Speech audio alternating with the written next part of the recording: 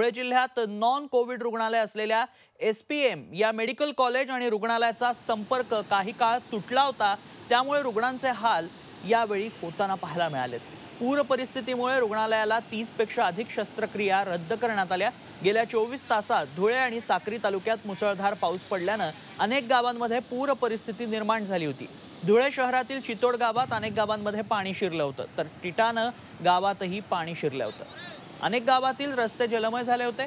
मोराणे हरण्यामाळ या परिसरात नकाणे तलाव क्षेत्रात मुसळधार पावसानं हजेरी लावल्यानं साक्री रोड आणि हरण्यामाळला जाणाऱ्या रस्त्यावरती तलावाच्या सांडव्यातील पाण्याचा प्रचंड प्रवाह वाहू लागला. त्यामुळे या रस्त्यावर असलेल्या S P M medical college आणि हॉस्पिटलचाही संपर्क तुटला. या ठिकाणी येणारे रुग्ण गर्भवती महिला यांचे प्रचंड हाल झाले. डॉक्टर तसंच कॉलेज आणि हॉस्पिटलचे कर्मचारी पोहोचूच शकले नाही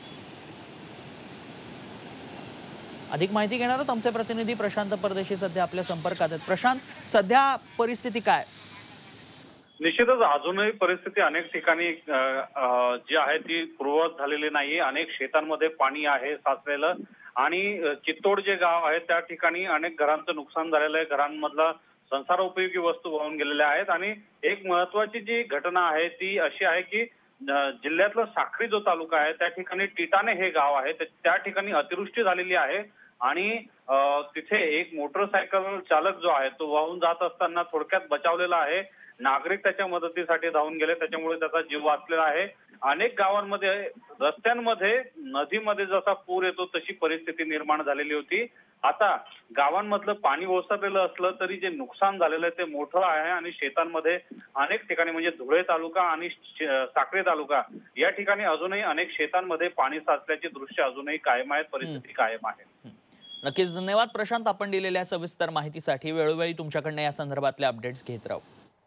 मुसळधार पावसामुळे नकाणे तलाव तुडुंब भरून वाहतोय. एक मोटरसायकल स्वार आपल्याला या दृश्यांमधनं पाहायला मिळतोय. त्याचा थोडक्यात जीव वाचलेला आहे. या पुराच्या पाण्याचा प्रवाह हा जोरात असल्यानं हा मोटरसायकलवाला वाहून जात होता. मात्र गावकऱ्यांच्या प्रयत्नामुळे त्याला वाचवण्यात यश आलेलं आहे. दृश्य पुरेशी बोलकी आहेत. धुळ्यातली ही परिस्थिती सांगण्यासाठी मुसळधार पावसामुळे पूर आलेला आहे मुसळधार पावसानं. नकाणे तलाव हा तुडुंब भरून वाहतोय. अनेक शस्त्रक्रिया त्यामुळे रद्द कराव्या लागलेल्या आहेत. रुग्णांचे प्रचंड हाल झालेले आहेत. पावसामुळे ही परिस्थिती धुळ्यात ओढवलेली आहे.